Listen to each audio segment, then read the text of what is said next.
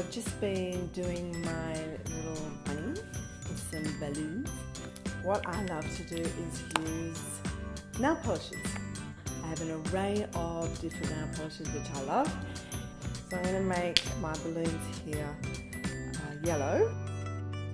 The other one is Be the Bounce and you can see I've done the little guys and I've put some of the sparkly around which is really lovely for sparkle stuff but I've still got to do his green body so I'm going to use my trusty nail polish.